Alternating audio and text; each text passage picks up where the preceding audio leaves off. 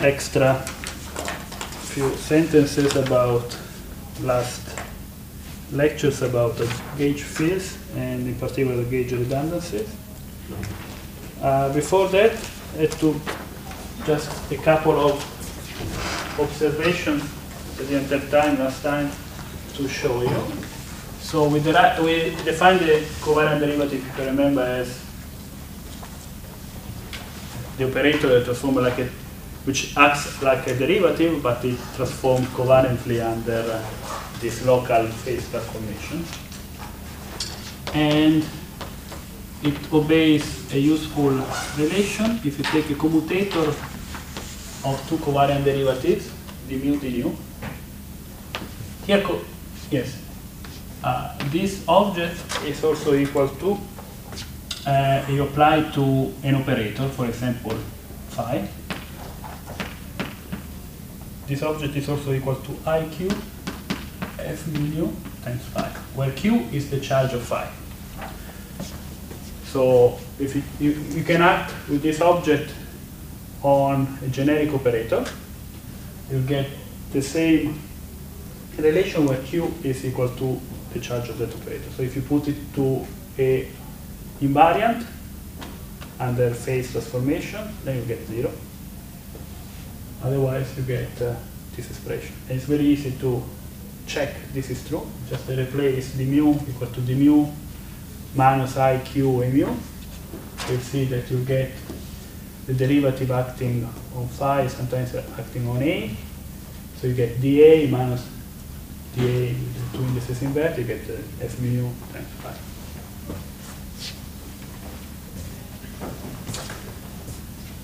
Also, you remember that we observe that under charge conjugation, say this is the, let me call it, I think I call it UDAG C, this is the unitary transformation implementing charge conjugation. A current, conserved current G mu transforms like minus G mu, if you remember.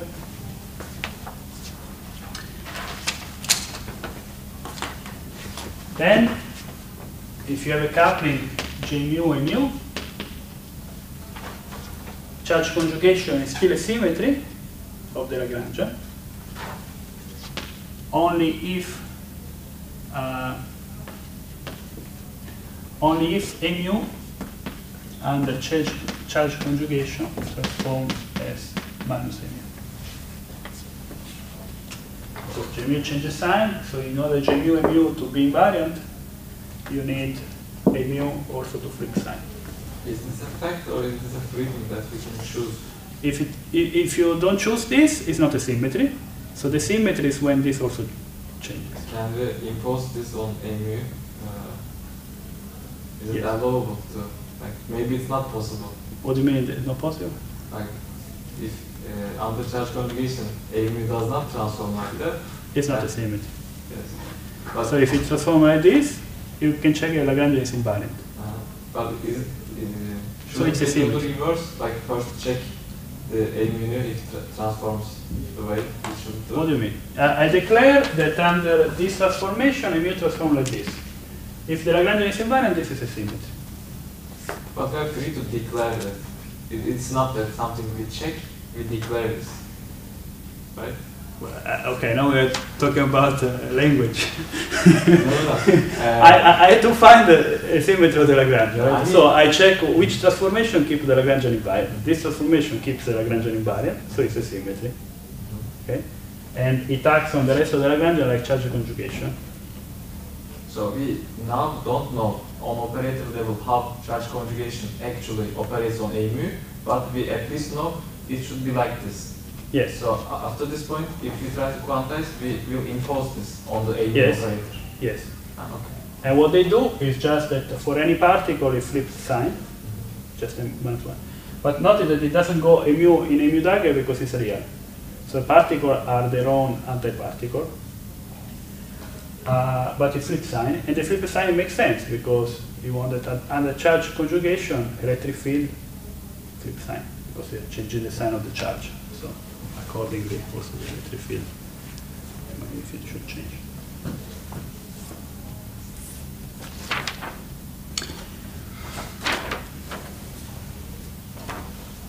Okay, so picking up on his comment, uh, I, yeah, yeah, last time I tried to show that gauge invariance is not a symmetry because at the end of the day all observable must be gauge invariant operators. So they don't see any transformation associated to, to gauge transformations and on top of that imposing that your Lagrangian is gauge invariant. It's uh, almost uh, doing nothing itself. So if you have a gauge invariance, we commented that Uh, you have less degrees of freedom than the one that shows in your Lagrangian because gauge invariance basically remove the dependence of the physics on some combination of fields. You use this to remove some physical mode for the vector field. But if you start with the non-gauge invariant Lagrangian, you can always construct a new Lagrangian which is gauge invariant and reproduce exactly the same physics. So requiring that the Lagrangian is gauge invariant, it doesn't change, doesn't do anything. Okay? And I give you an example, I hope of this uh, will make things a little bit more clear. So let's start with our original Lagrangian for the Dirac field, which is simply a free fermion. This Lagrangian is invariant under a global transformation psi to e to the i alpha psi, but it's not gauge invariant, right? If you perform a transformation which is x dependent, a U1 transformation which is x dependent, this Lagrangian is not invariant. So let's now construct a theory for which of the same fermion, which is also gauge invariant. Well, one way that we saw was just to introduce a vector field, mu, which transform under gauge transformations, and couple to the current of psi. So you have a, a covariant derivative here, a kinetic term for the mu, and you get QED Lagrangian, which is gauge invariant. But this is not the only, the only way. Now I'll give you another way, which does not, which will make this Lagrangian invariant, but it will not change the physics. So let me consider a new Lagrangian, which is psi bar. I write explicitly I gamma mu d mu, and here I add the minus i d mu phi minus m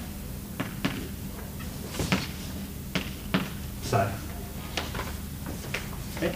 I added, a, instead of adding a vector field, I added a scalar field phi.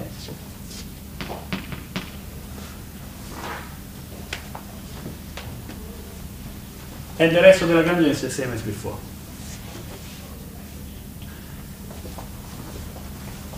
This Lagrangian here is invariant under gauge transformation of this kind. Psi of x goes into e to the i alpha of x psi of x. At the same time, I transform phi of x into phi of x plus alpha of x.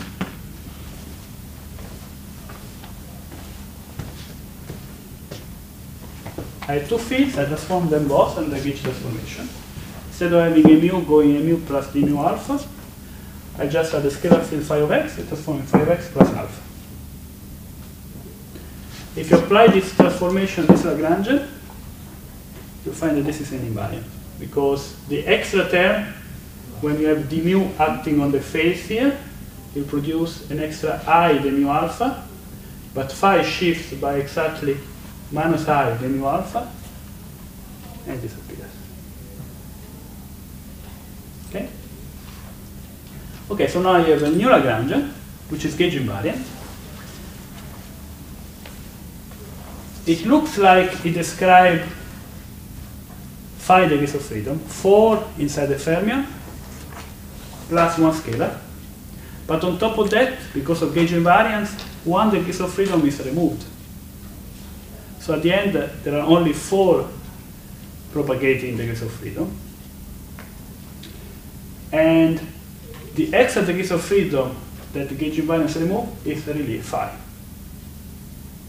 In fact, since I have a gauge invariant Lagrangian, I can choose a gauge without changing the physics, because physics is gauge invariant, doesn't depend on the choice of gauge. Let me choose the gauge alpha of x equal minus phi of x.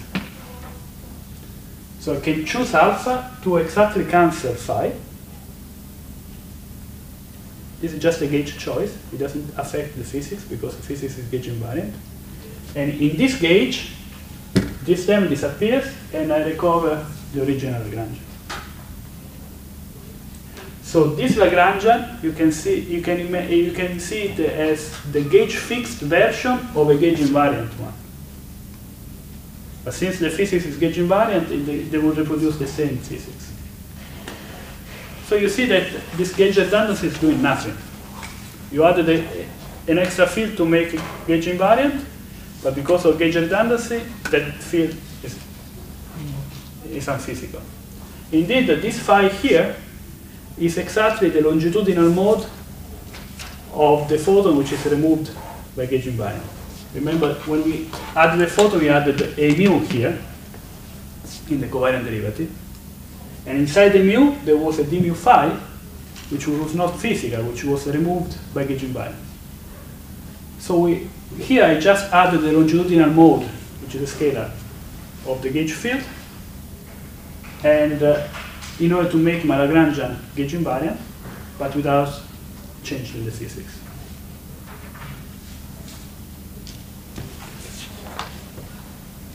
But uh, if you add some new redundancy to our Lagrangian, uh, after we fix some gauge, it's removed, right? Mm -hmm. Until we fix, until we think of any particular gauge, it is there, and somebody should put a constraint to yes. remove. Well, your Lagrangian is gauge invariant, so it doesn't depend on this alpha of x. So it means that any gauge choice you make, you get the same result. And in particular, you can choose the convenient choice of putting alpha equal to 5, which remove this term, and uh, we'll get to the same. Uh, and is this also the covariant derivative still? Then we make something like this? Yes, well, you can declare that this is the covariant derivative because with this extra term, the, this guy you can call it d mu, right? And now with this extra term, the mu psi transform covariantly just with the phase. Except, yeah, effectively this d mu phi is, is just a mu. So this is also compatible with our uh, gauge. Is it they all the same gauges? Uh, the same Lagrangian, QED Lagrangian? Can we do this to the QED? No, this is not QED in the sense that there is no this guy here is completely removed, so you, you, you don't have the photon. Mm -hmm. You have a free fermion. This Lagrangian is a of free fermion, so it's not QED. QED is a free fermion plus, well, it's a fermion plus a photon so interacting. In, this free case, can you declare this to be a covariant derivative? Yes. Or in the QED case, if you do this trick, uh, is it compatible with that covariant derivative? Yes. The QED like that? Yes, yes, it's, it's, it's, it's really the same thing. Right? The, the only difference in QED that inside the mu there are also the transverse modes, which are the physical one. Those know, the degrees of freedom which interacts. That, that is really QED, the transverse mode.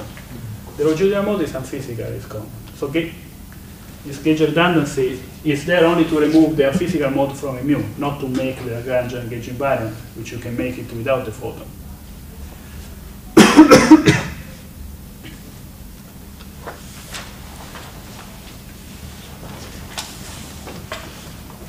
And this trick you can apply to any Lagrangian. You can make any Lagrangian that looks which is no gauge invariant, you can make it gauge invariant without changing the physics. By adding a physical modes to make the, physic, uh, the, uh, the Lagrangian gauge invariant, which are then just removed by the same gauge redundancy.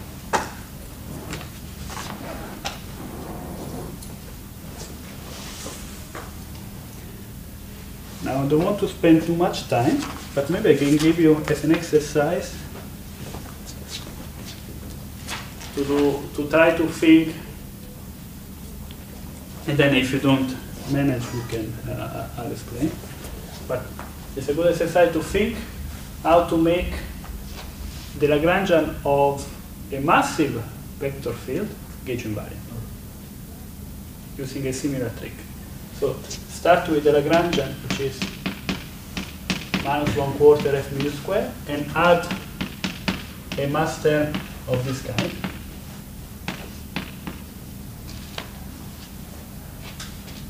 You can also add some coupling to a current if you want. And for example, you can take a current which is not conserved. So also this would not be gauge invariant. So you have uh, this term and this term would break gauge invariant. And now use a trick similar to that to get a gauge invariant Lagrangian, which once it's gauge fixed, reproduce the, this physics. So you get a gauge invariant Lagrangian of a massive vector field.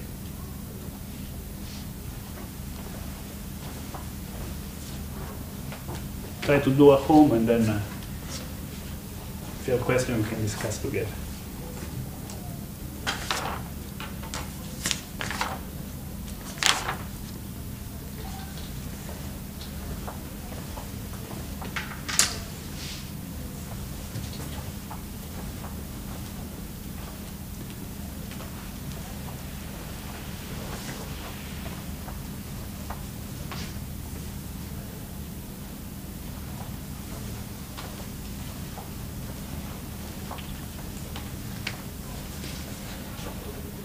Any questions?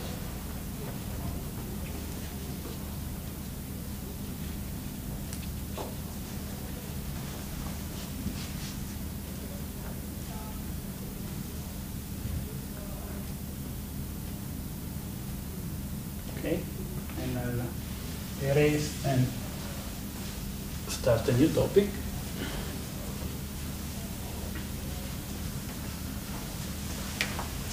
Finally, ready now to discuss the interactions. Uh, my- less non, more non-trivial theories. So I'll just start with the prototype. Go back to our simple theory of a single scale real scalar field. And I consider a Lagrangian which has kinetic term, a mass term. And now I have an interaction term of the form phi to the 4. Okay?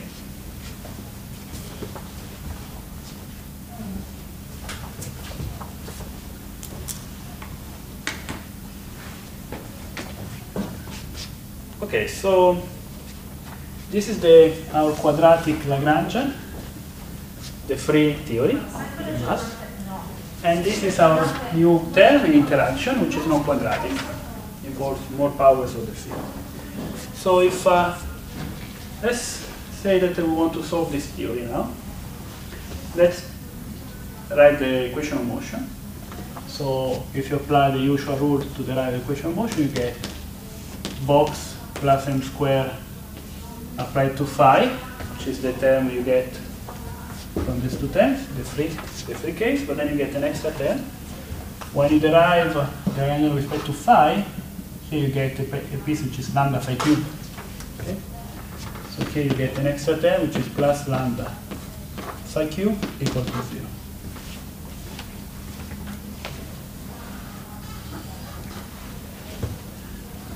Okay, now you see that Fortunately, these equations are nonlinear. They have higher power of phi. And in general, nobody knows how to characterize the most general solution to this equation. The, the trick we used with Fourier transform does not work here. Because if you replace a Fourier transform here, you get an integral, here you get a cubic in, integral cube. So you cannot just equate the, the integrand. There are, in special cases, there are some solutions known, like the domain wall we discussed uh, in, in, some of the exercises, but there is no generic characterization of uh, all solutions, so we cannot solve this. Uh, Even when you find a solution, uh, the combination of the solutions is not the solution, right? Yes, there is no superposition principle because the, the, the equations are not linear. So if you write the sum of two solutions and you replace here, it will not be a solution. So then if you find two separate solutions, they are uh, of two If they are very far from each other, so that the overlap is zero, then it's okay.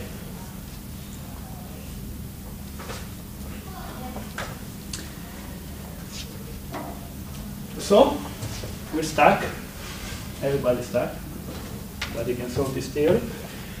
There is a limit where we can approximately solve it, which is when this parameter here, lambda is small. The limit when lambda goes to zero, we know the solution. The case. So we can try to um, treat this lambda parameter as a small perturbation and compute in perturbation theory the effect of this extra piece here. Of course, this method will work if this parameter lambda is small. If this parameter lambda is big, no.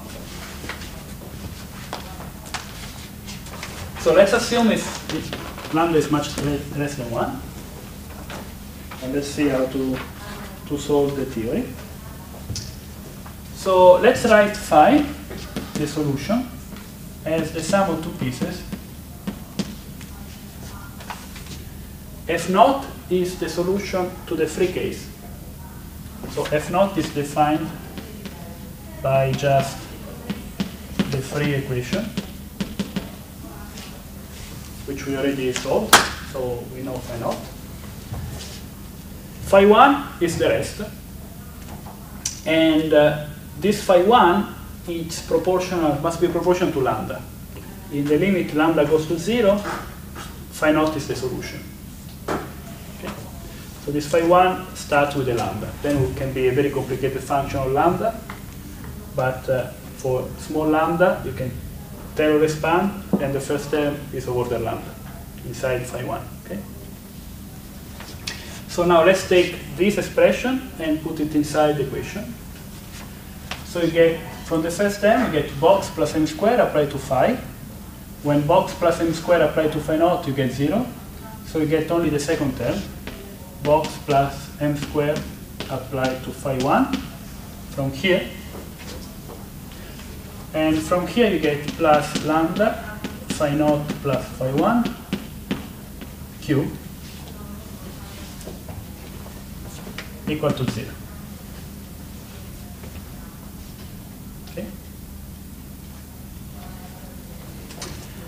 Now if, if we work in this limit, uh, here you get a term which is lambda phi naught cube, which is of order lambda. And all the other terms involve at least two powers of lambda, one from here and one from phi 1. So all the other terms are of order lambda squared.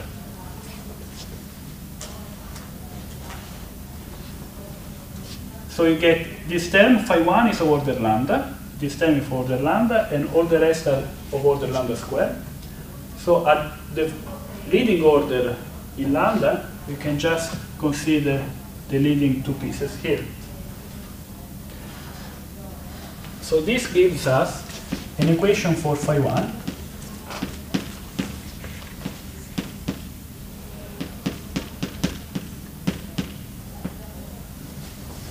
which we can solve. Actually, we already did. This is easy. It's box plus n squared phi 1 equals to a known function. Phi naught is the solution to the free equation we know. So this is the of the type of box plus n squared phi 1 equal to a source. So the generic solution for phi 1 will be um, solution it will be i lambda integral in d for y g of x minus y yeah x minus y times the source which is phi naught cube computed at, at y.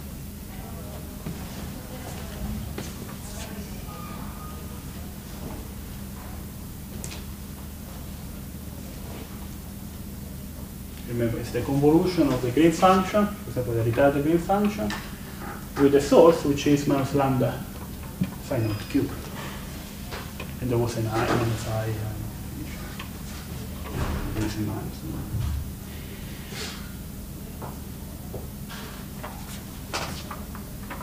So the final expression for phi at this order would be phi naught, the solution of the free equation, plus i lambda ldp integral d for y g of x minus y phi naught cube plus order lambda square.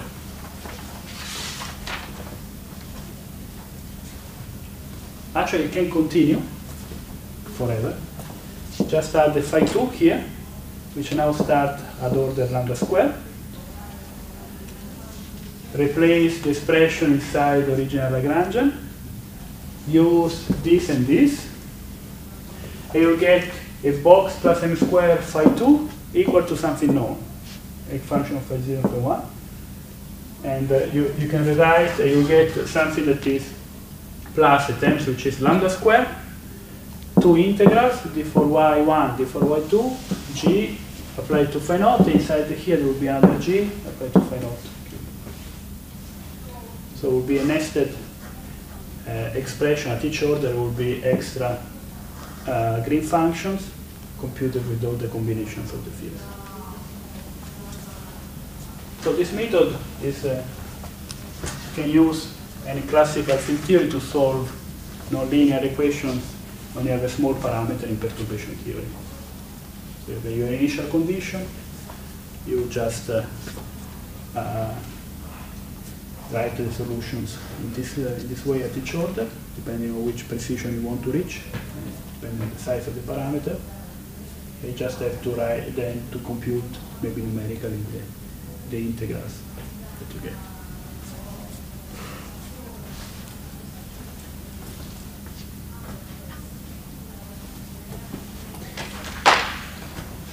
So at the quantum level, things becomes more interesting. So remember phi naught we solved, and uh, it bears inside this belly a creation annihilation operator. But then at the next order in perturbation theory, you get terms which are phi cube. So inside here there are terms like a cube, a, a diagonal square, and so on. And more orders you go, more higher power of creation annihilation operator you get. So for the interactive field,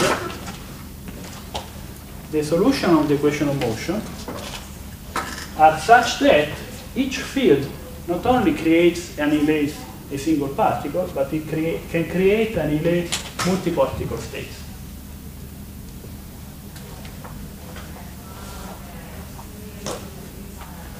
So applying phi to the vacuum can create n particles. Of course, if the parameter lambda is small, probability to create more particles becomes smaller, suppressed by higher powers of the parameter lambda.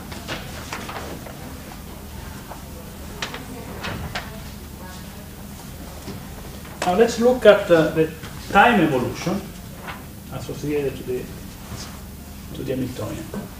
So if you remember, the free case, it's pretty simple.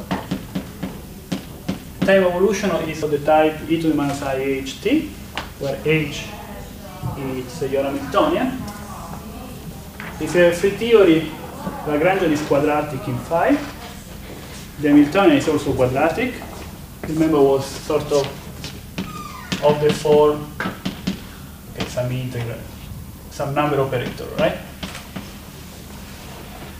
So when you are applying the evolution operator to some state of n particles, as the time flows, this operator just annihilates a particle and creates the same particle. And in doing so, it attaches a phase, which is proportional to time, depending on the energy of that state.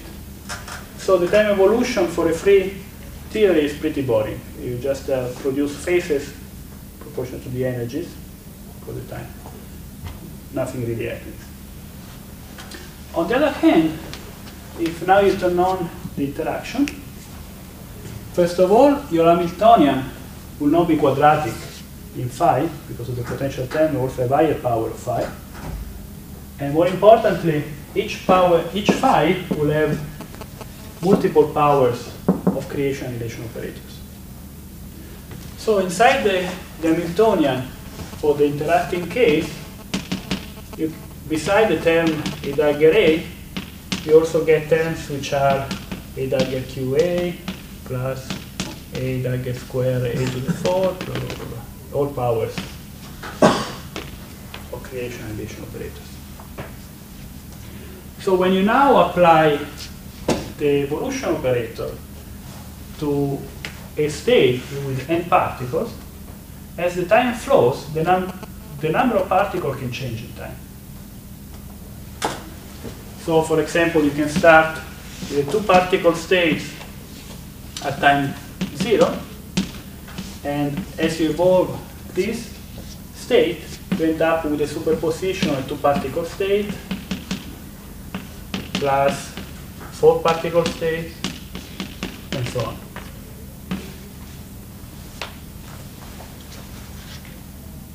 And of course, the prefactors here has to do with the probability to create this particle, which has to do with the size of this uh, coupling lambda.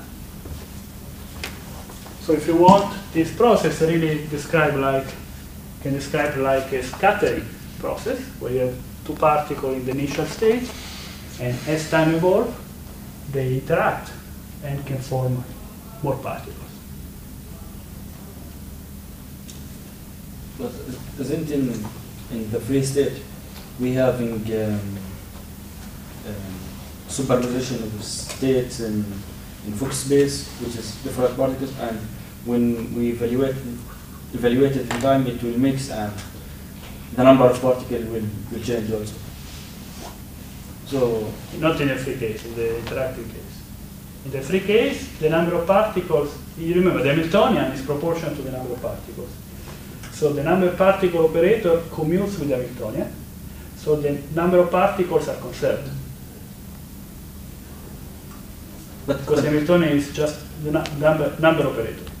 I see. Now, the new Hamiltonian with the interaction is not just the number operator. They don't commute.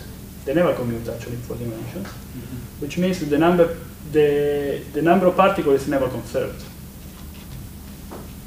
Uh, in current, uh, can we make the same argument for uh, conserved current too? Which argument? Uh, like if it is conserved the number of particles because charge depends on number of particles and if it's conserved then it should not change. What it doesn't change is the charge, which is conserved. But you remember, particle antiparticle are different charge. So if you- you create a, cap, a, a pair of particle antiparticle, it will not change the charge, but it will change the number of But particles. those are for scalar, uh, complex fields, not real fields, right? Uh, if you have a real field, what is, what is the charge? That is conserved. You can have a, a- you need at least more particles to have a continuous symmetry. Yes. Yeah. We said for interacting fields, uh, we cannot use the superposition uh, method. But aren't we using there the superposition method? To do what? Then, because we are summing up all the states. Then, No, you you should be careful. Here I'm taking a superposition of states because the evolution is a linear operator and quantum mechanics it's always defined by linear operators where superposition uh, works. What I cannot take is a superposition of operators.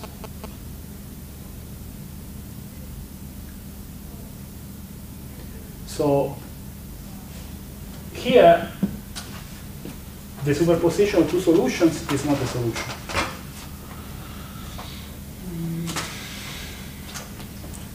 But uh, I can take superposition of states, and this will evolve differently, not like the product.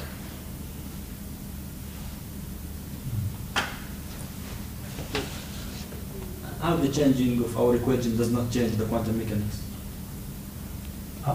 No, there are, the axiom of quantum mechanics we never touched.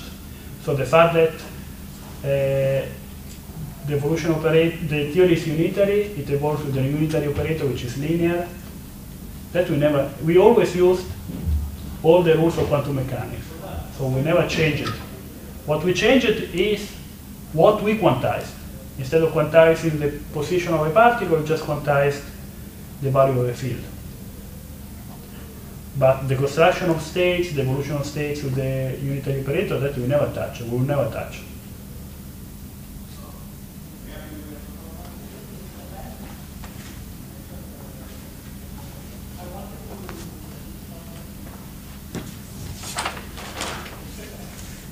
All right.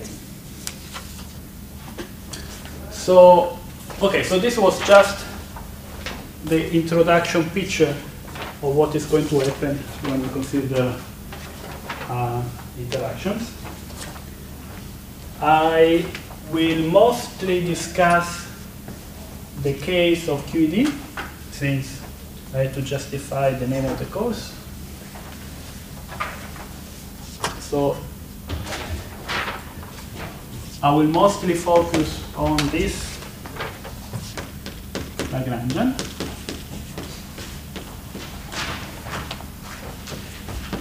which we already wrote last time.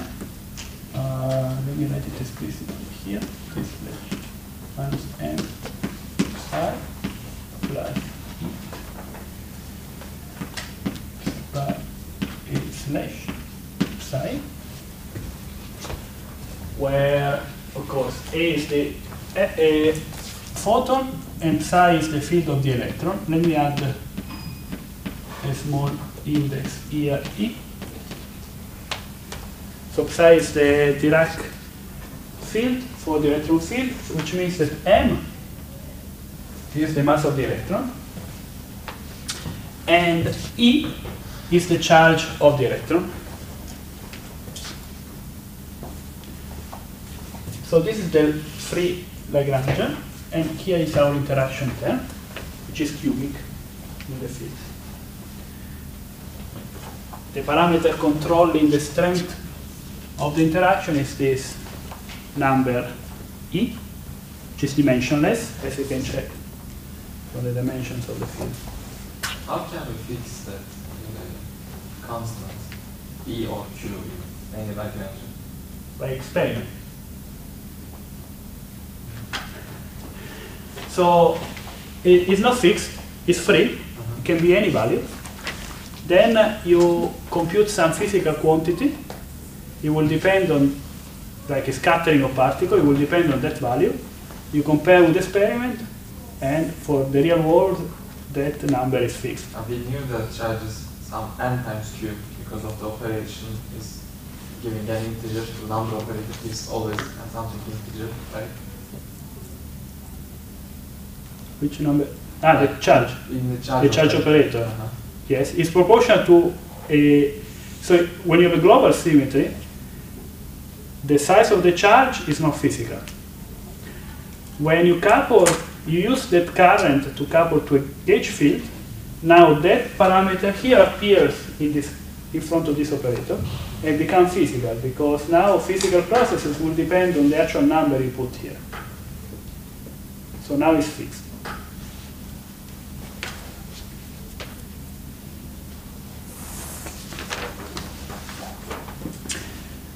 So this Lagrangian describes the interaction of electrons with mass me, charge E, with a photon.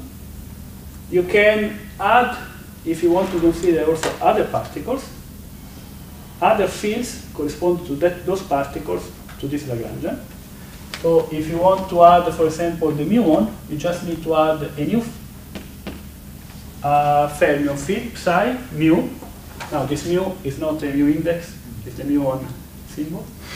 I put it in uh, parentheses so it doesn't get confused, hopefully. There is a, the mass of the muon will be different.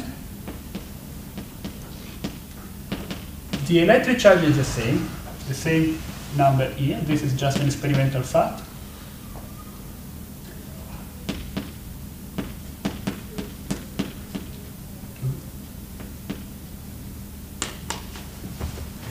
So you just add these two terms, and now your Lagrangian describes electron muon interacting with themselves also through the electromagnetic interaction.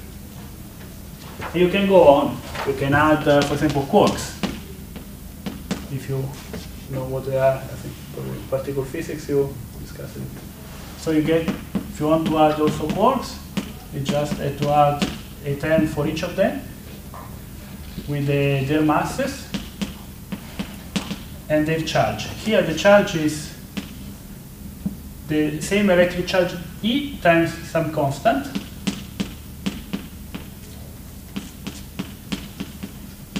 And this constant is uh, two-thirds for the up-type quark and minus one-third or the other way around, the way normalized for the down.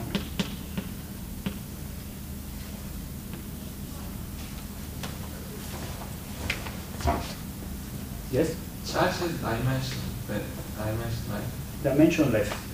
Why is it dimensionless? It's dimensionless because the fermion is dimension 3 half, Ah, A is dimension dimension- 1, Okay. and this is But in dimensionless. it is dimensional. So. No, dimensionless. In natural units, Coulomb Uh-huh. is Dimension. dimensionless. Natural units is h bar c equals 1. Yes. So one Coulomb is just, I don't remember, 10 to the 19 uh, with some number, pure number. So how big is it in? Oh, good question, because that will, that, that size will control now our perturbation expansion. So if you measure this, this has been measured experimentally with like a precision of 12 digits, 13 digits. I only remember the first. It's uh, 0.3.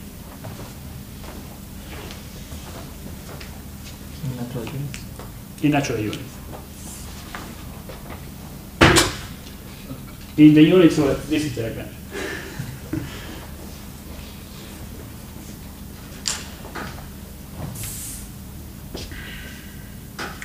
Is it big? Is it small?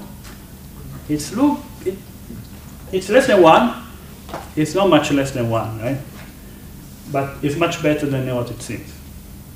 How we can compare this coupling constant is small respect to what? One. To one. Well, it's dimensionless, right? Okay. So it's a dimensional nas- number you don't need to compare. You want to do Taylor expansion in uh, this parameter. Okay. Fortunately, we will see that the, the um, perturbation theory for this cubic coupling of this type only uh, uh, basically the expansion is not in E, but is in E squared. So it's not like the lambda parameter we saw, but always enters with the even power of this uh, operator. So E squared is already better, it's like uh, 0.1. But on top of this, there is always a prefactor, which comes from the fact that we are working in 3 plus 1 dimensions. You want, it's like the Gauss uh, prefactor. So at the end, instead of e square, what you will see is that there's always a prefactor which is 4 pi squared. So this you can also write as alpha, the fine structure constant, which is e squared over 4 pi, over 4 pi. And numerically alpha is 1 over 137.56, blah, blah, blah, over 4 pi. So this guy is of order 10 to minus 3. So isn't that thing uh, which the expansion Is the true expansion parameter is this object here.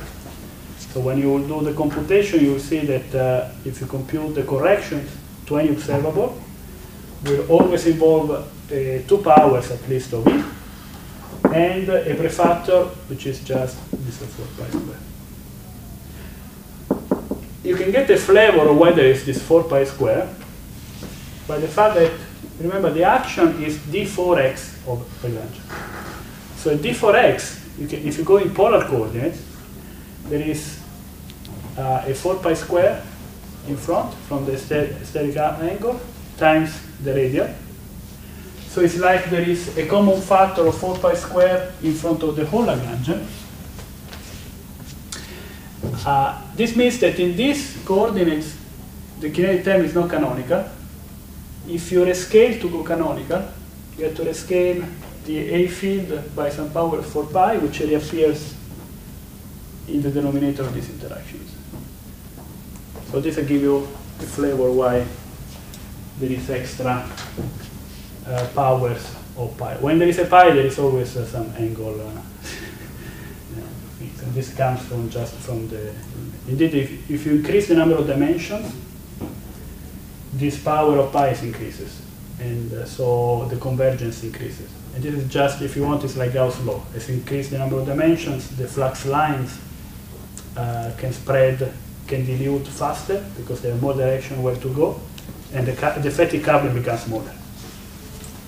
Can we say that uh, in Gauss law it was for two dimensions, 4 pi, we have four dimensions, 4 pi times 4 pi? Yeah, you have to compute the, And the, the angle in the dimension, which uh, now there is the formula 2 pi to the d over 2 over gamma.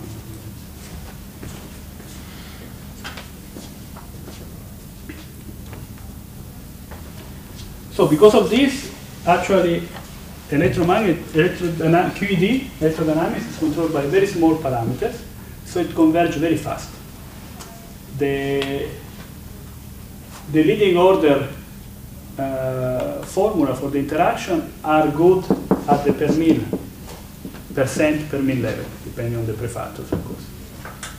And uh, all the corrections are much, much smaller. So for this reason, it's partially the reason why you can make very precise calculations in uh, QED by just computing uh, in perturbation theory. You get very accurate uh, predictions.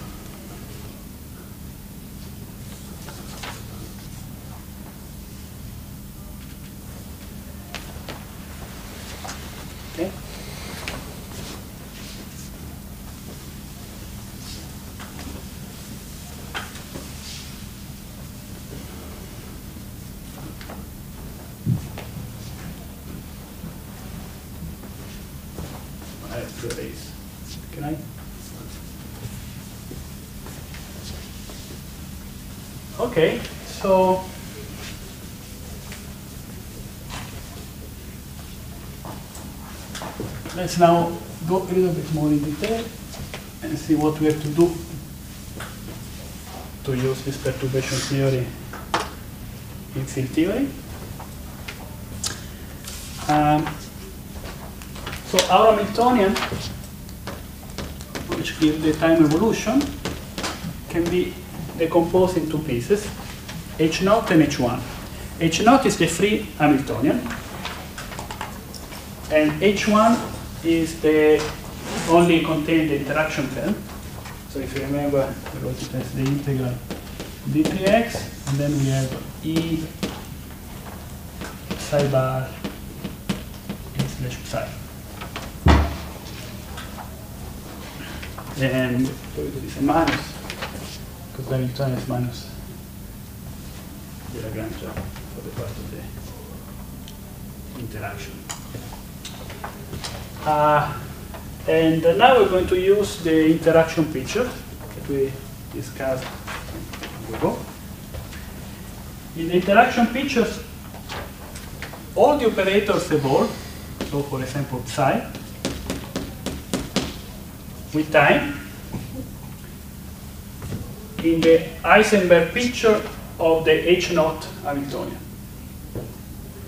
So the evolution in time of psi of x and t is just u naught dagger, psi of x and 0, u naught, where u naught is the evolutional operator of h naught. So, so this part doesn't know anything about h1. It's just the free uh, evolution of fields, which we already solved. So by just using uh, the field expressions we computed by solving the free equation, we are basically working with the operators in the interaction picture. And all the effect of interaction just is downloaded on the evolution of states. Okay? So in this frame, then the evolution of state satisfy the equation i d dt of a state, say state a function t, is equal to the interaction Hamiltonian h1 of t, A of t, where h1 of t is this interaction Hamiltonian with the fields in the interaction picture, so satisfying this, which we already computed. So all you have to do is to solve this equation, which tells you how a state evolves in time in this picture with an operator which is just this. Okay? As you may imagine, we will not be able to solve this in a closed form, otherwise we would have solved with the analogous uh, solving the theory or more linear theory, but we'll see. We'll get just get in a closed form the expression of the solution which where you may be tempted here to write the solution as e to the i h1 integral of h1 t dt. It's almost correct, but it's not completely correct. So I will go through the derivation because there is a small catch. So let's integrate this equation. So if you integrate the left hand side, you get just a at the time t minus a at the time uh, 0, for example. Okay? So this gives a at the time t is equal to a at the time 0 plus the integral of this, which is the integral between 0 and t in dt1, let's say, of h1 t1 a of 0.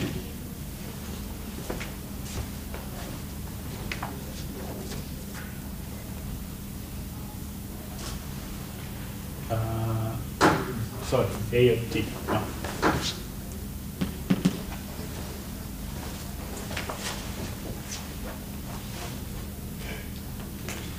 So I didn't really solve it, because of course I wrote a of t as a function of 81.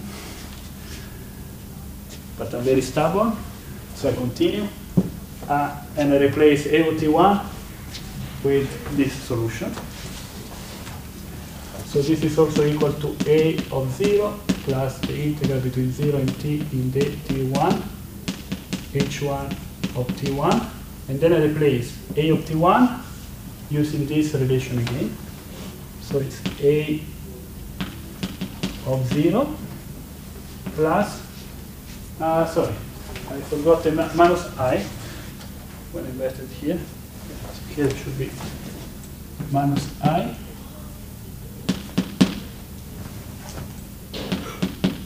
and here you have the integral between 0 and t1 the t2 h1 t2 a, t2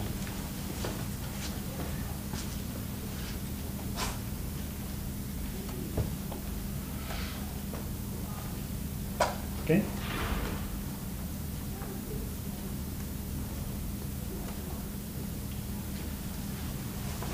And I continue.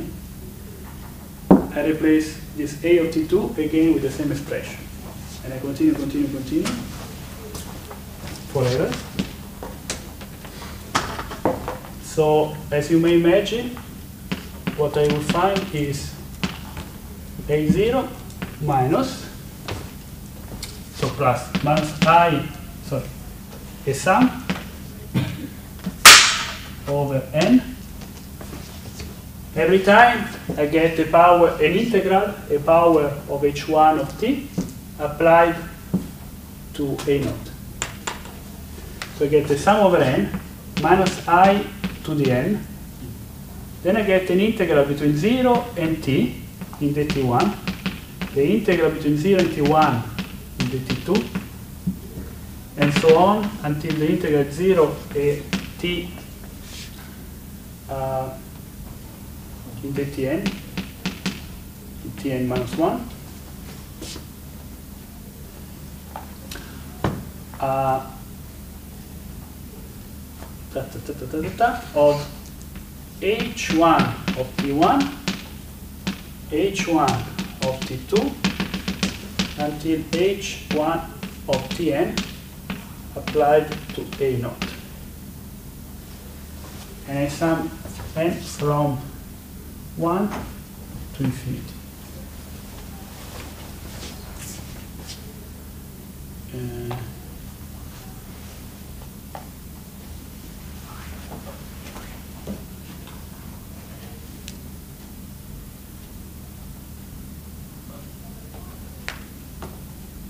okay.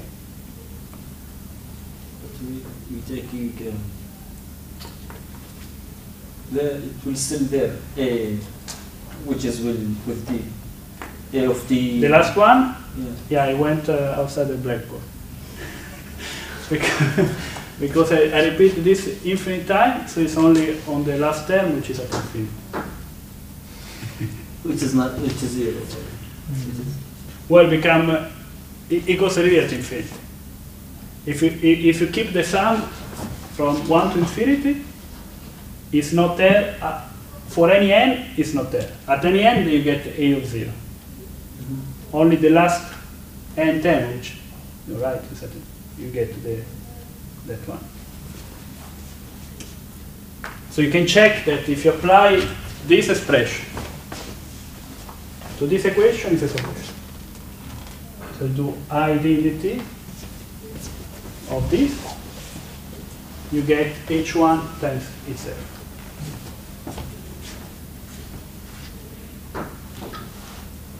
Because 10 by 10, the two series on the left and right hand side match.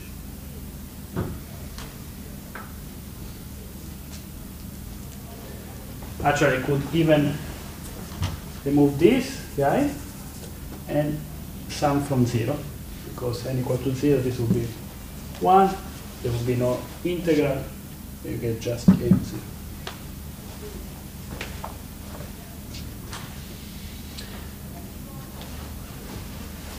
0. Now do some tricks. This product here is a product of H1 computed at different times. But you see that uh, Tn, the last one, is always smaller than Tn minus 1, which is always smaller than Tn minus 2, which is always smaller than T2, which is always T1. Okay? So this means that this Tn is always in the past of Tn minus 1, which is in the past of Tn, brr, which is in the past of T1. So this product is already time ordered. So let me write then, I can add here without changing the result a time ordering because it's not doing anything.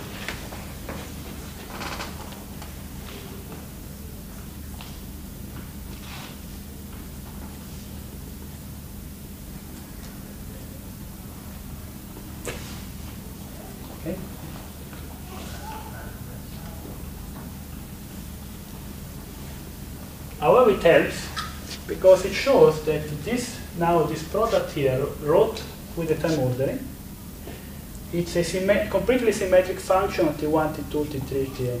Okay? Because here you have H1 at T1, H1 at T2. So if you change any of the two T's, because you have anyway the time ordering, they give you the same result. Okay? So this basically extract the complete symmetrization of all T1, Tn. And this allows us to write this integral here. Now this integral, you see, it's an integral over, like if you take the first two, it's an integral over a triangle, because it's integration of t2 between 0 and t1, and t1 between 0 and t. And then it, all the other integral just remove another triangles in multi-dimensional space. So since this uh, product is symmetric in exchange of any t, this integral here is also equal to the integral between 0 and t in dt1, integral 0 and t in dt2, integral 0 and t in dtn,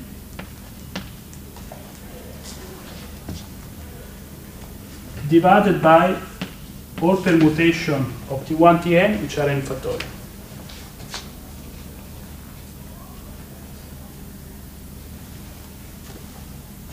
There is no two uh, because of triangle.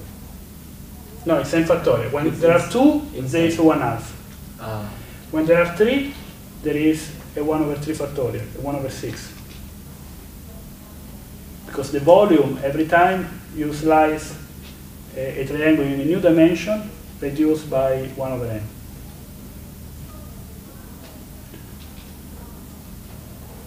Or if you want the volume of this guy, it's n factorially bigger than this one because here there are all permutation up to an n factorial permutation dt1 dtn after you order them is of this kind. So you are counting n factorial times this.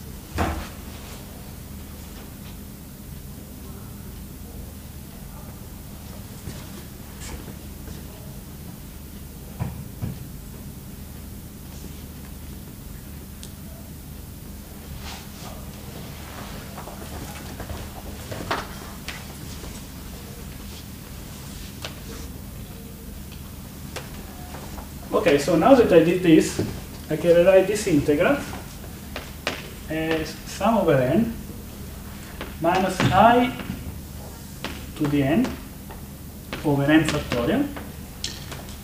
I keep I pull out the time ordering because it's just acting over the operators. These are just numbers. And then you see I have integral in dt1, dt2, dtn, each one with h1 of t1, h1 of t2. Now the dependence on t1, t2, tn is only there. So, which is equivalent to, to compute the integral in dt prime between 0 and t of h1 of t prime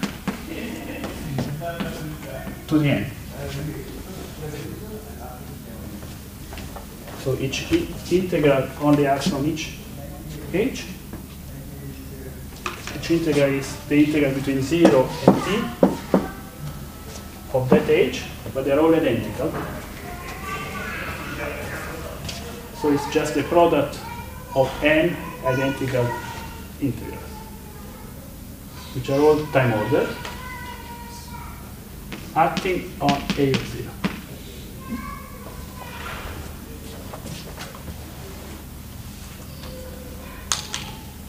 Now here you can recognize exponential. So this is just the time ordering of e to the minus i integral between 0 and t in dt prime of h1 t prime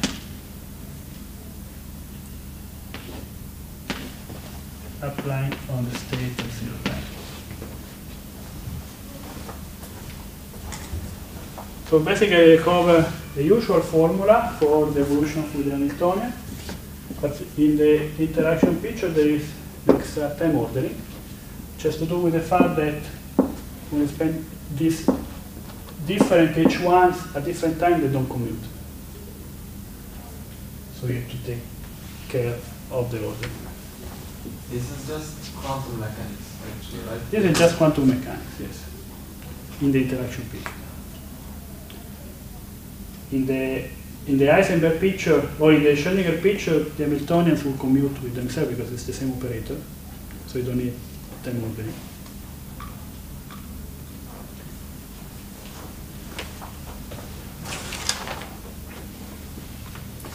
So let's so this guy here is basically our evolution oper unitary evolution operator between the time t and time zero applied to the state.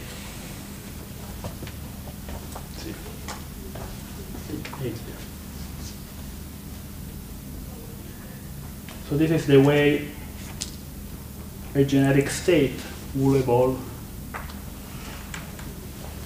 under time translation.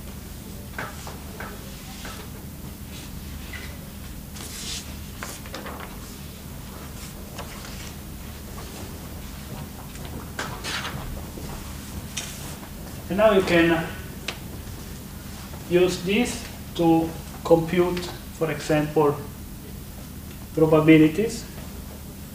For example, you can define, you can consider, for example, a state at some time, t1, of some n particles,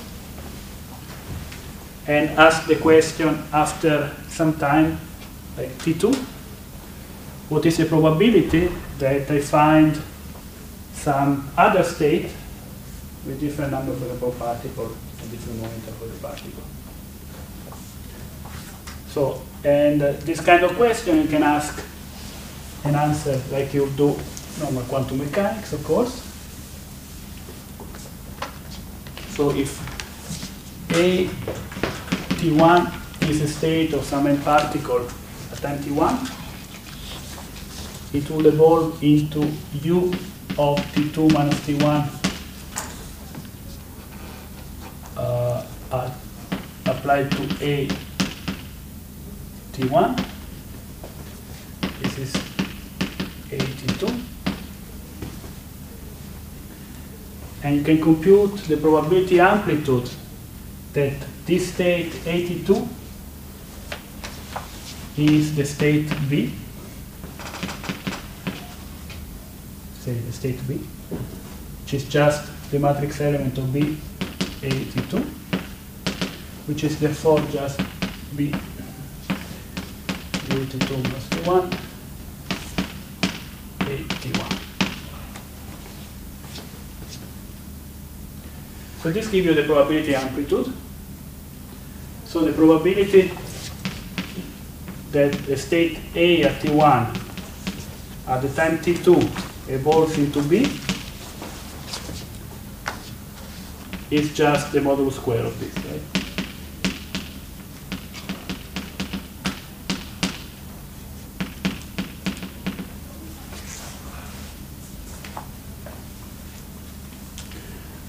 So computing probability that some state evolves into some other state after some time corresponds to compute the modulus square of a matrix element of this matrix here between the two states.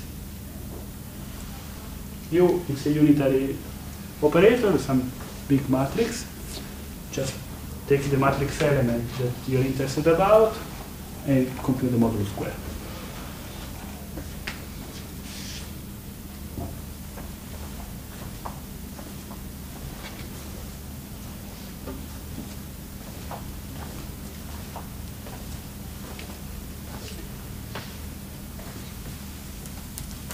Particular limit is often used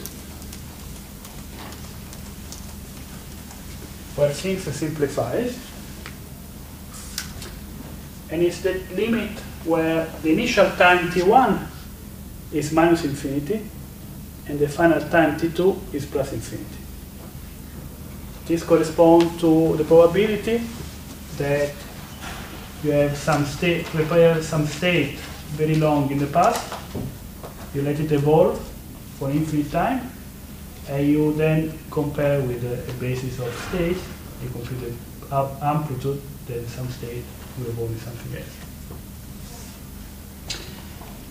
This quantity here is called S matrix, or scattering matrix, S, and it's just the limit of t goes to minus infinity, t1 goes to minus infinity, t2 goes to plus infinity of our u t2, t1 matrix evolution u1. This one.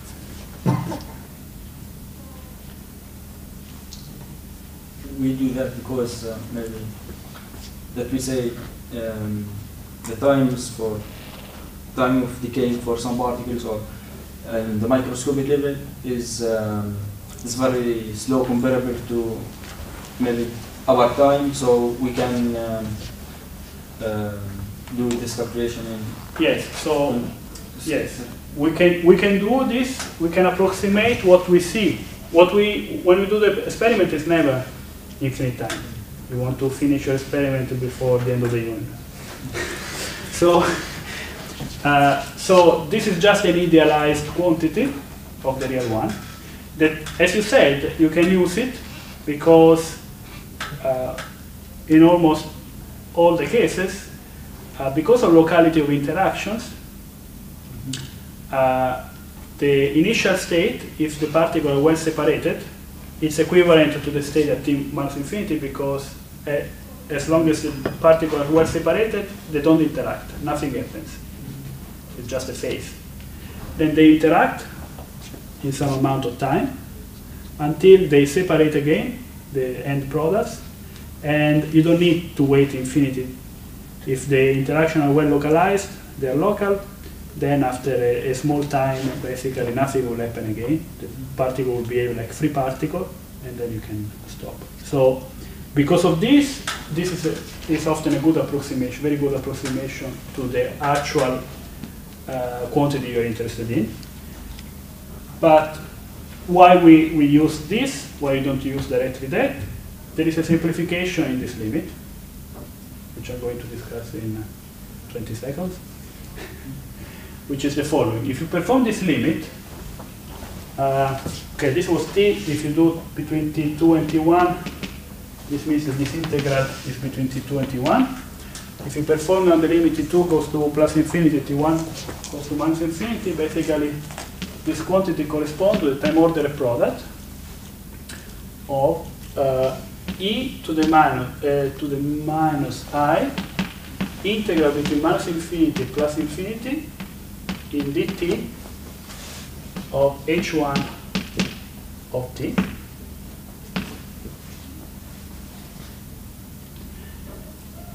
Now, if you replace h1 of t with this expression, for example, in QED, this is just the integral in d3x of uh, minus e uh, psi bar a slash psi.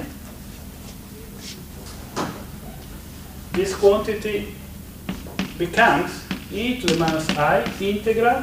You can write it as sorry, plus i e. You can write dt and dx, they go all to plus infinity minus infinity. This is the integral d four x psi bar a slash psi. Now, psi bar a slash psi transforms a scalar field. The integral d four x of a scalar field is an invariant. So in this limit, the S matrix is Lorentz invariant.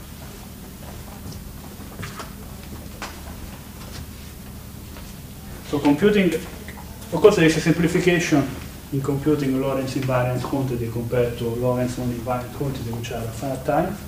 As you will see, you can write everything in terms of uh, scalars. Lorentz invariant, the, the, the, the computation simplifies a lot. Yeah, what does it mean as matrix to be Lorentz invariant? Like, which is the same in any frame. But you don't take this limit, it might not be. So different observers can see different products is- yes, different but- probabilities. Yes, because if you don't make this limit, what you're computing is the probability amplitude that uh, sometimes lies to 1, you go to some times lie T2.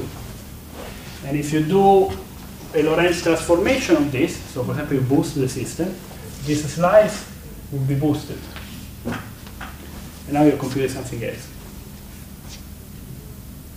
So the non-Lorentz invariance of this quantity at finite time is just due to the fact that different observers see different slices.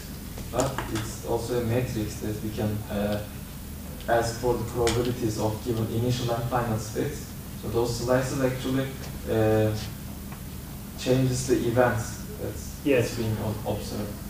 Yeah, Not which, just which space points, but the states are uh, different slices of states. yes, one state and the other, the boosted state will be different.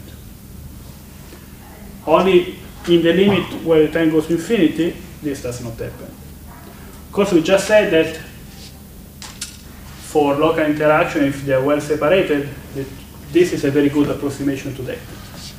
So at the end, if you do the computation of this, you get something that is Lorentz invariant up to very small correction, which only have to do with the, uh, the part which is uh, basically overlapping the non-free part. So at the end, of course, the. But in this construction, everything is Lorentz invariant from the start. You automatically deal with Lorentz invariant operators.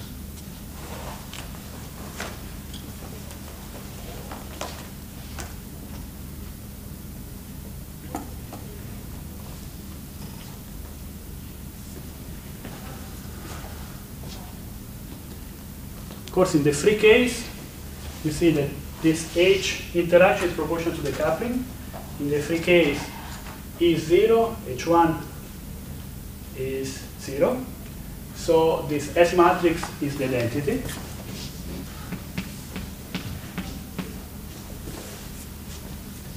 So sometimes this, this matrix is also written in the form identity plus I some matrix. And this mat oh, plus, plus. And this matrix is proportional to the coupling. So this, this is the part that contains the interaction, the non-trivial dynamics.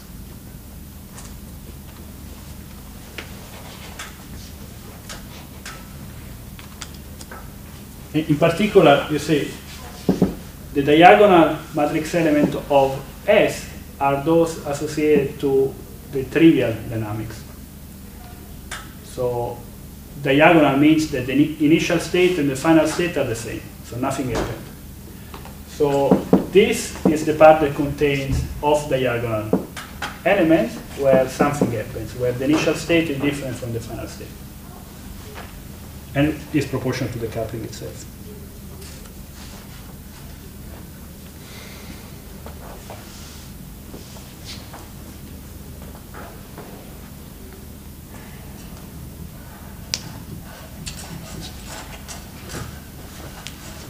There is only a small caveat in what I said, is that in order this picture to make sense, and this limit to be well defined, uh, you should not uh, start uh, with the states which are exact waves, plane waves. You have uh, to start with wave packets. Because if you start with a state which is an exact eigenstate of momentum, it's each particle will be a plane wave which is completely delocalized in space. So it's not true that uh, in the infinite past the particles do not interact. So you need uh, to start only if you start with the wave packets.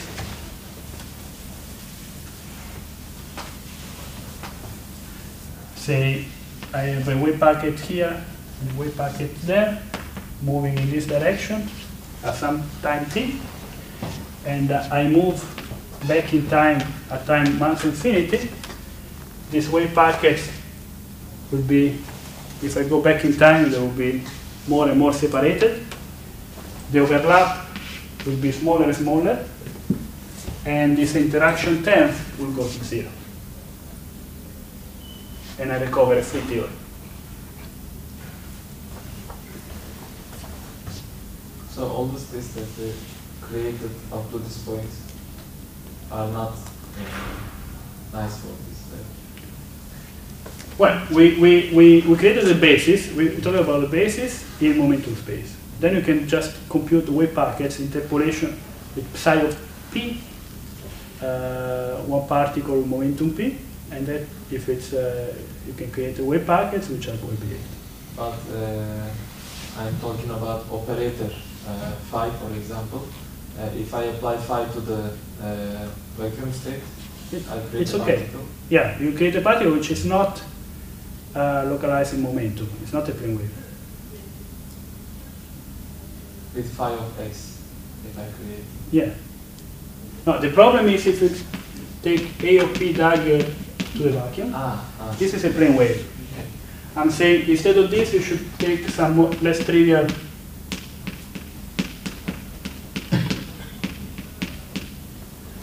wave packet so that it's localized somewhere. And then this is uh, proper to make uh, that limit. Actually, the problem is even less severe because it's just a problem of commutation of limits. After you make the limit t, t go to minus infinity equal to plus infinity, then you can relax the wave packet and nothing will happen. So at the end we will compute S matrices, elements for plane waves, but you'll see that to connect with experiments you just have to, at the moment we, you, you compare with the experiment you have to insert this uh, the wave function. But then you can make the limit of the wave function goes to zero afterwards, and uh, you get the final result. So it's a good approximation. Typically, when you set a particle, you don't really need to know uh, what is the wave packet. You just have typically the, the errors you make are much bigger than the localization of the packet. Mm. There is also another subtlety discussed, and uh, it's associated to the fact that while it is true what I said, that you can neglect the interactions between two-way packets at t equal to minus infinity, you cannot neglect the interactions of the wave packet with itself. So this term here can change, uh, will affect the self-interaction of a particle with itself. For example, will correct the value of the mass, it will change, affect the, the value of the coupling and so on. So while it is true that in the limit minus infinity, t plus infinity, the theory becomes free because the wave packet separates, the free theory you get is not the free theory with h1 equal to 0. It's a new free theory where the, the mass parameter, the current parameter are a little bit different. They are normalized, they, they, they get correction with the self interaction. with the self-interaction. Uh, And also the spectrum is different. You could have states which are free, but they are not states containing H naught. The simplest example, think about QED, think about a proton and electron. They can form a bound state, which is the hydrogen atom. The hydrogen atom behaves like a free particle. So if you go to plus infinity, minus infinity, it will stay there as a free particle moving freely. But it's not a state, an eigenstate of H naught Lagrange. It's there because it's a bound state between proton and electron. But since a proton and electron will never fly apart if they are bounded, you cannot neglect the interaction Hamiltonian for that. You can only neglect it between two wave packets that fly apart.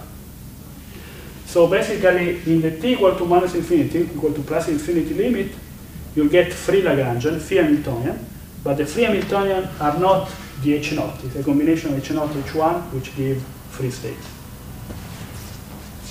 What is true is that if the coupling is small, all the states uh, which are free state in H naught, in good approximation, are free state at equal to plus infinity minus infinity. You still have an electron, a muon, a photon, with a small correction from each one. On top of this, you have also bound states. If the coupling is large, all this is not true, and the asymptotic state, the states which survive the infinity minus infinity, can be completely different from the states you put in the Lagrangian from the start. One example is QCD, where you start in your Lagrangian, you put quarks and gluons, and there are no quarks and gluons in the asymptotic states, they are only proton, pions.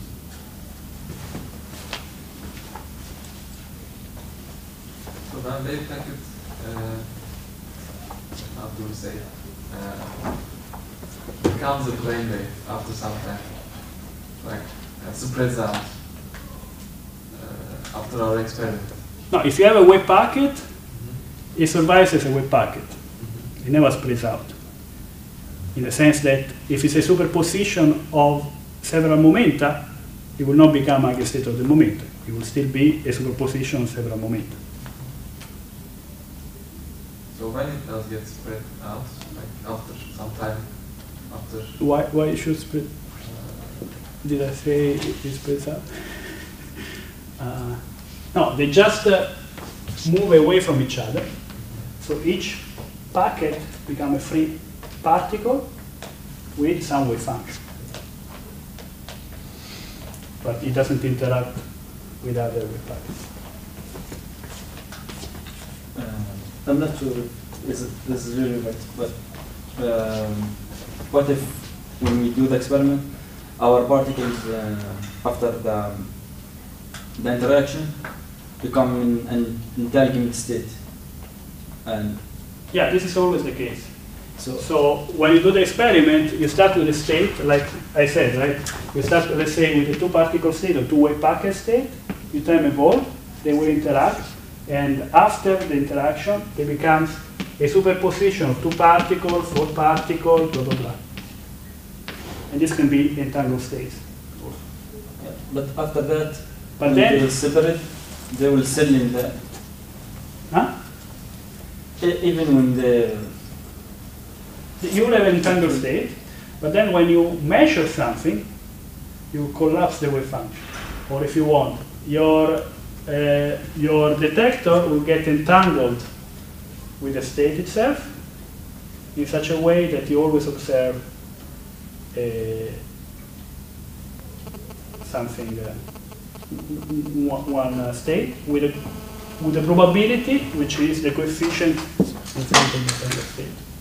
This is exactly like in normal quantum mechanics. With the difference that here you get entangled states between different number of particles also. We can talk offline if you think about this. Uh, there. Okay, so now let's see what does it mean compute this amplitude? At the end, we will see that, uh, so what do we want? What, what is the aim of constructing this S matrix? So the aim, one of the aim of constructing this matrix and doing the experiment is to reconstruct what is our fundamental theory, what is our Lagrangian. So, and the best, simpler way to address this is to understand what are the fields we want to put in the Lagrangian and the quantum numbers, the charge, the couplings, right?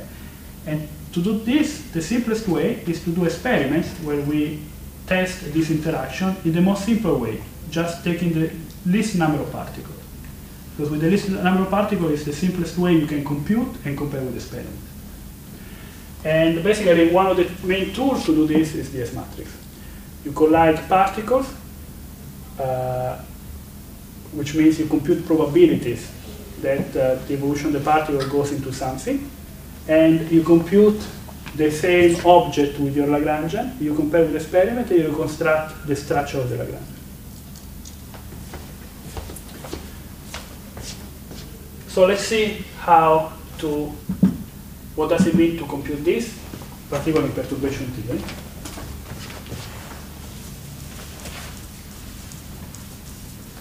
So at the end, we will be interested uh, in matrix elements of this scattering matrix S between some initial and final state that you mentioned in the laboratory uh, of this operator here. As I said, I will not be able to solve this operator in a closed form exactly as it is, but I can work in perturbation theory, so I can expand in this small coefficient E in front. So I can re-expand the exponent, which is the expression we derived before, and compute matrix element of that expansion between the initial and final state. So the generic matrix element of this, so the, this matrix can then be written as a sum of some small parameter, in that case like e to the n, times, or let's say Sn, where Sn is the nth term in the expansion of the exponential. So each each Sn will have n powers of the small parameter e. Okay? So this n Sn, more explicitly, is what? Will be the integral in d four x1, d four xn, uh, n insertion of this guy here. There will be a i e to the n. So it would be, uh, I don't know. Okay, let me write it this way. Minus i to the n over n factorial, and then the time order product of n insertions of Hamiltonian density, H1 of the interaction Hamiltonian density at x1, H1 at xn.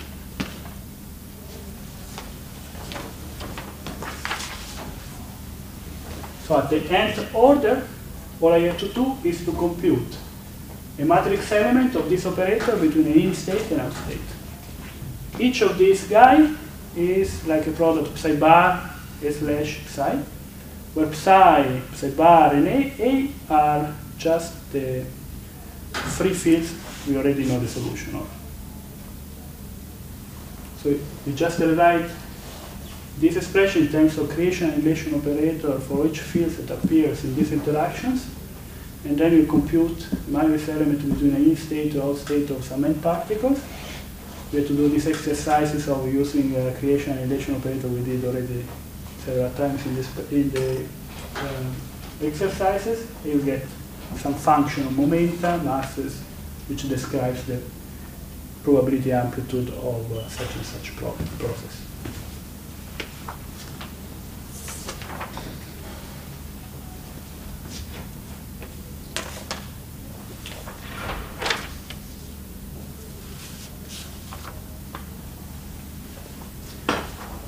So this will be, as I said, psi bar a slash psi at the point x1, psi bar a slash psi at the point xn, and then you have a minus i e to the n over n factorial, and at the end you have the integral in d four x1, d four xn, and you have to compute this between, let's say, what is called out state, or what is called in state, which are the initial and final state of your process.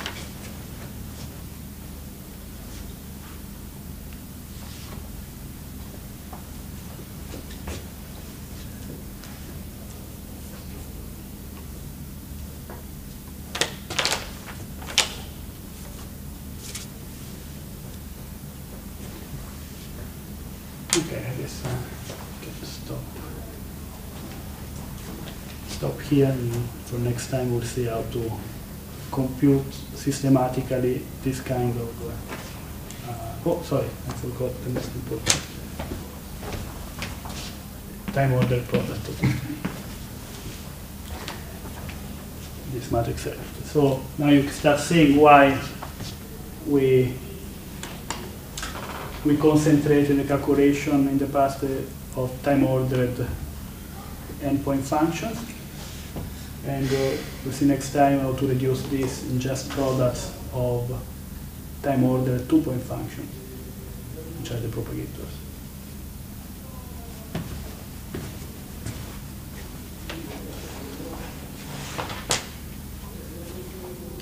Questions?